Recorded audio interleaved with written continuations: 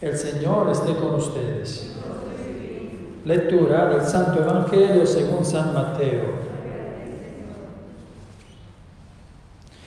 En aquel tiempo Jesús dijo a sus discípulos, cuando ustedes hagan oración, no hablen mucho como los paganos, que se imaginan que a fuerza de mucho hablar serán escuchados. No los imiten, porque el Padre sabe lo que se les hace falta, antes de que se lo pidan. Ustedes, pues, oren así. Padre nuestro que estás en el cielo, santificado sea tu nombre. Venga tu reino. Hágase tu voluntad en la tierra como en el cielo. Danos hoy nuestro pan de cada día. Perdona nuestras ofensas, como también nosotros perdonamos a los que nos ofenden no nos dejes caer en tentación y líbranos del mal. Si ustedes perdonan las faltas a los hombres, también a ustedes los perdonará el Padre Celestial. Pero si ustedes no perdonan a los hombres, tampoco el Padre les perdonará a ustedes sus faltas. Palabra del Señor.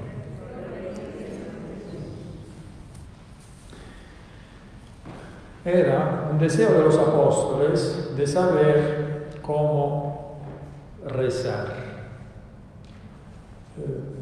Por eso se lo pidieron, se lo pidieron al Señor.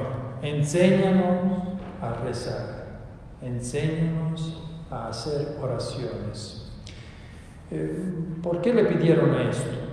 Puede que por muchos motivos. Bueno, primero de todo, porque ellos, ellos veían que Jesús era hombre de oración. Hasta lo hemos visto en el Evangelio del domingo, antes de empezar su vida pública, Jesús hizo 40 días de oración y ayuno. Y no solo estos 40 días, sino por toda la vida, todos los días, temprano, Jesús se levantaba y se iba a orar, siempre. Entonces lo veían, la vida que hacía Jesús. Después, eh, se, acuerdan de aquella vez que le llevaron a Jesús, antes se lo habían llevado a los apóstoles, un, hombre le llevó su hijo que tenía una posesión por el demonio y los apóstoles lo pudieron sacar. Después se lo llevó a Jesús y Jesús lo liberó. Y los apóstoles le pidieron, ¿por qué no lo hemos podido liberar? hay algunos demonios, dice Jesús, que se pueden sacar solo con la oración. Así dice en un evangelio. Y en el otro dice, solo con la oración y con el ayuno. Además, eh, Jesús va obrando milagros. Y los apóstoles eh, eh, van a recibir este poder. Y ellos se dan cuenta que Jesús cumple milagros por su vida de oración. Entonces es como si hay esta idea que, que Jesús tiene palabras particulares, tiene oraciones particulares que, le dice a su Padre y entonces su Padre le regala este poder para hacer milagros. Enséñanos a orar. Es como si significa, enséñanos las palabras que, decimos, que tenemos que decir para que podamos cumplir milagros. Hay todas estas cosas dentro de la mente de los apóstoles. Eh, entonces Jesús cuando le enseña su oración, no, no dice ninguna fórmula, ninguna fórmula mágica. Está diciendo esta oración del Padre Nuestro, que, nosotros sabemos que todas las veces que rezamos el Padre Nuestro estamos meditando sobre Jesús y sobre Dios y sobre nosotros también. Y además hay Jesús que dice esto. Cuando hagan oración, no hablen mucho, como los paganos, que se imaginan que a fuerza de mucho hablar serán escuchados. No los imiten, Porque aquí es el punto en que tenemos que reflexionar esta noche. El Padre sabe lo que les hace falta antes de que se lo piden. ¿Eh? Entonces, ¿qué hacemos aquí? Si el Padre ya lo sabe, ¿por qué estamos repitiendo oraciones? ¿Por qué estamos eh, repitiendo peticiones al Señor? Como, si Él no, no lo supiera. Hemos estado pidiendo por años que quite el virus, ¿verdad? Que Dios no lo sabía que hay un virus en la tierra. Necesitaba que nosotros se lo decíamos. Eh, ahora estamos orando por esta eh, cosa, cosa, increíble, inaceptable eh, de, violencia terrible de la guerra. Que Dios no lo sabe que hay la guerra en Ucrania. Es cierto que lo sabe. Entonces la pregunta hoy es esta. ¿Por qué oramos? ¿Y cómo tenemos que orar? ¿Y a qué sirve la oración? Porque si no, seguimos orando y orando y orando y nada sucede. Eh, eh, me podría pasar que, que, se enferma uno de mi familia. Yo rezo y rezo y rezo y nada sucede. Y al final, eh, este ser querido de mi familia muere. ¿Y yo qué pienso? Dios no me escuchó. No. Aquí Jesús está diciendo, Dios te escuchó antes que tú empezaras a hablar. Ya lo sabía lo que te necesitaba. ¿Y por qué no me lo dio? Aquí. Para entender esto yo tengo que rezar. No es que tengo que rezar para cambiar el corazón de Dios, porque el corazón de Dios ya está bien, no le necesita de cambiar. La mente de Dios no puede cambiar. Ya la mente de Dios está hacia lo mejor que podría ser para mí. Ya esto, en el proyecto de Dios hay esto. ¿Qué quiere Dios? Dios quiere lo que quieres tú. Lo mejor que tú quieres para ti, Él lo quiere también. Y lo, lo quiere más. Lo quiere mejor que tú. Entonces, ¿por qué no hace lo que yo digo? Porque lo que piensa Dios es mejor que lo que tú dices. ¿Por qué entonces oramos? Para entender esta diferencia.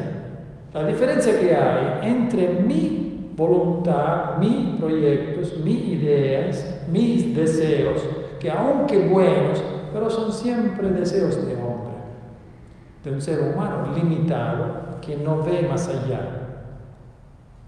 Esta diferencia que hay dentro de mi voluntad y la voluntad de Dios, que es la voluntad de un Dios infinito, que ve las cosas más allá de todo, ve la cosa no hoy y, mañana, ve la cosa por toda la vida eterna, los efectos que habrá después. Entonces, para que yo pueda eh, entender por qué Dios actúa de una manera diferente de la mía, rezo. ¿Y cómo rezo? Rezo con estas palabras. Primero de todo, hágase tu voluntad. Cuando decimos hágase tu voluntad, no estamos diciendo, ah, bueno, yo quería esto, que era mejor para mí. Tú no quieres acontentarme, entonces, bueno, hágase tu voluntad. No, no es esto. No es esto. Hágase tu voluntad significa que yo creo y confío tanto en Dios que yo sé que aunque tú no me diste ahora lo que yo te estaba pidiendo, pero lo que tú me vas a dar va a ser más grande de, de lo que yo pedí. Por eso yo hecho en tu voluntad mi pequeña voluntad. La oración es la comparación dentro de estas dos voluntades, la voluntad humana pequeña y limitada con la voluntad divina, grande y infinita. Jesús en esta oración eh, todo lo relaciona a la caridad. Si vamos a, meditar sobre el Padre Nuestro, nos damos cuenta que cada palabra del Padre Nuestro está relacionada a la caridad. ¿A qué sirve la oración? La oración sirve nada más que a abrir nuestro corazón y nuestra mente, a hacernos capaces de, enfrentar cualquier cosa, nada más que porque confiamos en Dios. La oración es la oración de Jesús eh, en el jardín, a donde también Jesús como hombre pide algo. Pero ¿cómo, cómo se da cuenta que eso no es posible? Eh, quita de mí este cáliz, esto no es posible. Y entonces, ¿qué dice Jesús?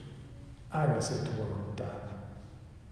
Lo dice, eh, sigue eh, lo, que tiene de vivir, la prueba tan fuerte que tiene de vivir, y sigue amando todo el tiempo.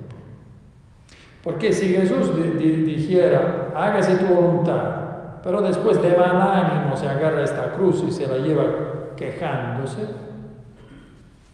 eh, esto no sería Jesús. ¿A qué sirve la oración?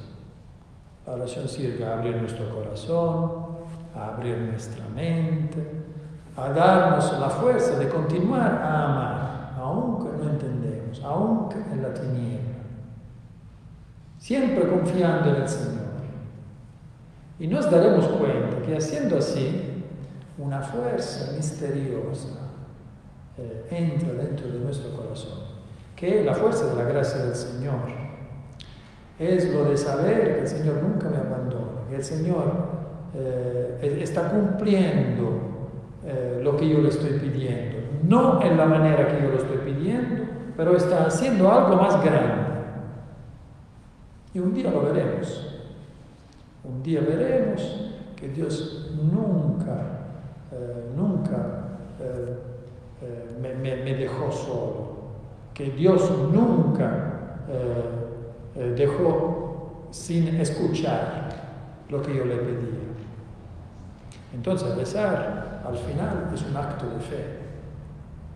Esto nosotros estamos haciendo. Rezamos para hacer un acto de fe. Entonces se dan cuenta cómo es diferente esta manera de ver la oración eh, respecto a, la manera como usualmente la vemos. Y Jesús lo dice claramente al inicio, no es el número de oración, es la calidad de la oración que, que cambia tu corazón y lo hace semejante al corazón de Dios para que tú puedas confiar en Él.